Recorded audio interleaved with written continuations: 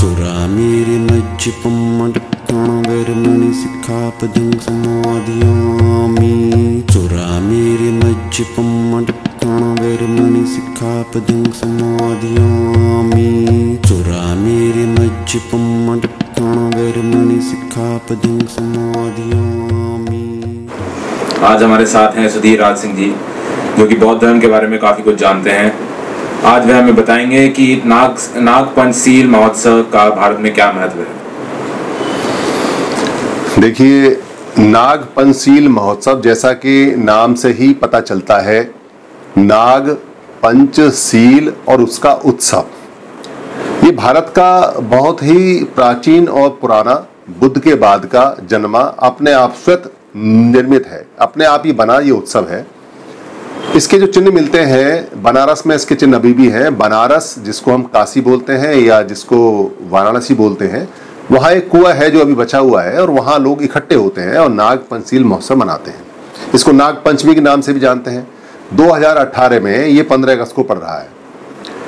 अब ये है, है क्या सावन के महीने में क्यों आता है? सावन के महीने की क्या महत्ता है? ये एक बड़ा महत्वपूर्ण प्रश्न है जो बौद्धों के इतिहास इससे भरे पड़े हैं।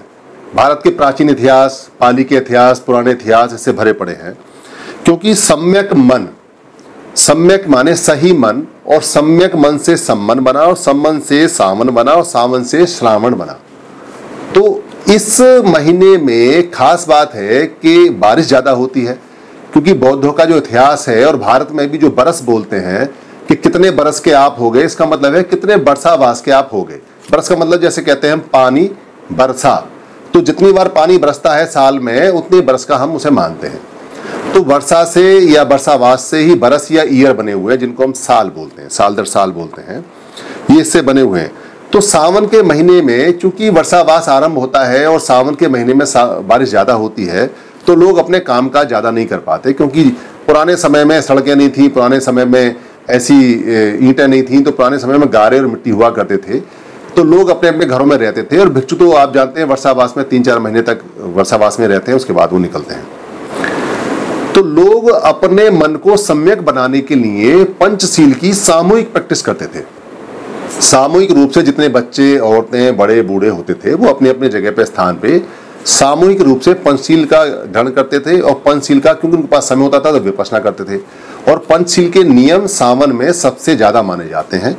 क्यों माने जाते हैं? क्योंकि इस महीने में मांस खाना बिल्कुल मना है, जो कि पंचशील का एक सिद्धांत है। इस महीने में व्यवचार करना मना है, जैसा कि व्यवहार में आता है। इस महीने के अंदर सुरापान करना मना है तो सुरापान आज भी नहीं करते लोग। ये उस प्राचीन पद्धति के ही अवशेष बचे हुए हैं, जिनसे ये प्रूव होता है और ये सिद्ध होता है बार बार कि सम्यक मन, सम्मन, सामन या सावन या श्रावण। ये हमारी वर्षावास की, वर्षा की जो एक पद्धति महीने से चली आ रही है, ये सारी सारी वो है। अब इसको नाग या नाग को सर्प कैसे बना दिया, ये एक बड़ी मज़ेदार सी कहानी है। नाग भारत में सब जानते हैं कि नाग एक जाति है।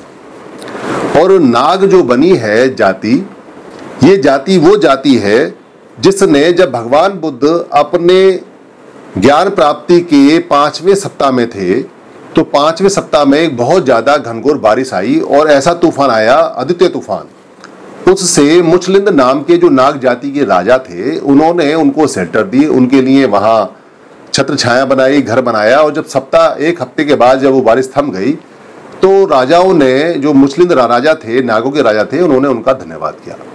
भारत में प्राचीन जाति जितनी भी है, प्राचीन जो लोग हैं, मूल निवासी, उनको नाग बोलते हैं। बारह तरह के नाग राजा बताए जाते हैं, जो कि इतिहास में मिल जाते हैं।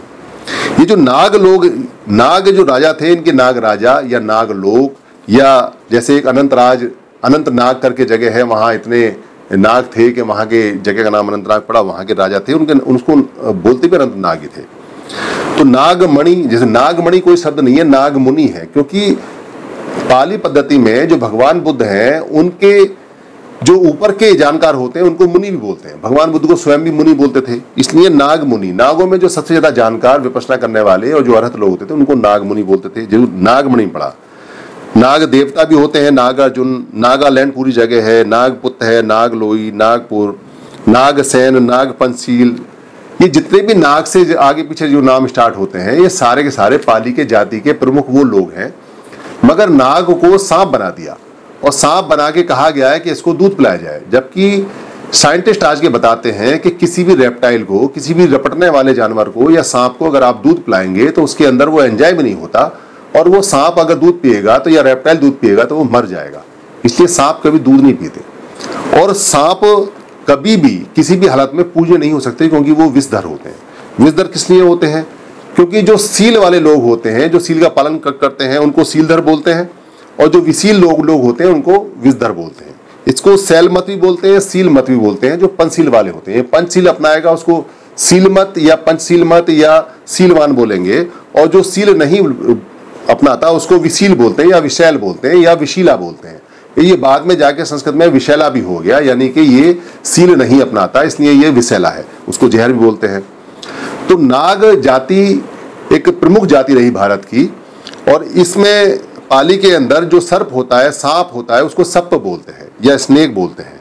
तो नाग को हाथी का बच्चा भी बोलते हैं पुरानी भाषा में। इसलिए नाग यहाँ के लोग हैं। नाग पंचमी उनका अपना उत्सव है। नाग पंचशील महोत्सव बहुत पुराना महोत्सव है। जब घर घर में, मोहल्ले मोहल्ले में, जगह जगह लोग सामूहिक रूप से पंचशील मनाया करते थे। और नाग रूपी मूर्तियाँ आज भी प्रचलित हैं। क्योंकि उसका स्वरूप बदल गया, लोगों ने नाग को सांप बताना शुरू शुरू कर दिया। इसलिए लोगों ने सांप की मूर्तियाँ बनाई यादगार में और लोग भूल गए कि नाग कभी सांप नहीं होते। नाग तो नाग जाति होती है भारत की जो चारों तरफ़ बिखरी पड़ी है। इसके चीन में जापान में तो एक नाग वंश भी है। जापान के जो राजा है वो अपने आप को नागवंशी बोलते हैं। चीन की राजधानी बीजिंग में एक नागों का मंदिर है और जो मशहूर नाग है बताए जा, जाते हैं वो साउथ के अंदर अजंता के अंदर इसकी नाग मूर्तियाँ हैं। इसलिए पंचशील महोत्सव बहुत लाभकारी महोत्सव है। और इसको सावन के महीने को जो श्रावण बोला गया है, ये बाद में बना है, क्योंकि श्रय जो शब्द है शय और रय मिलके जो बना हुआ है, वो पाली में नहीं होता शय इसलिए पाली पुरानी भाषा है, वहाँ सिर्फ़ सावन ही होता है। तो सावन या सम्यक मन या सम्मन जो महीना है, बहुत महत्वपूर्ण होता है। इसमें पंचतीज का अधिक- पालन करते हैं। इस बार ये 18 अगस्त को है।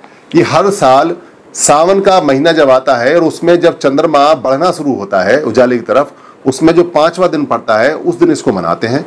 तब सावन का महीना भी पीक पे होता है, बारिश भी पीक पे होती है और पंचशील का उत्सव भी पीक पे होता है। इसको मनाने का बड़ा अच्छा तरीका है। इसमें अधिकतर जगहों में ऐसे लोग जो अष्टशील का पालन करते हों, जो अनागारिक हों, उनको ढूंढा जाता है, उनका सम्मान किया किया जाता है और उनसे शिक्षाएँ ली जाती हैं। और जहाँ अरथ मिल जाए या जहाँ भिक्खु मिल जाए, वहाँ भिक्खु से अरथ से वरना अनागारक से जगह जगह इसका उत्सव मनाते हैं। लोग उनका मान सम्मान करते हैं और लोग उनकी वंदना भी करते हैं और पाली में जिसको हम कहते हैं कि पूजा पूजा का मतलब है सम्मान करना या उनकी बात को मानना, ऐसा भी करते हैं।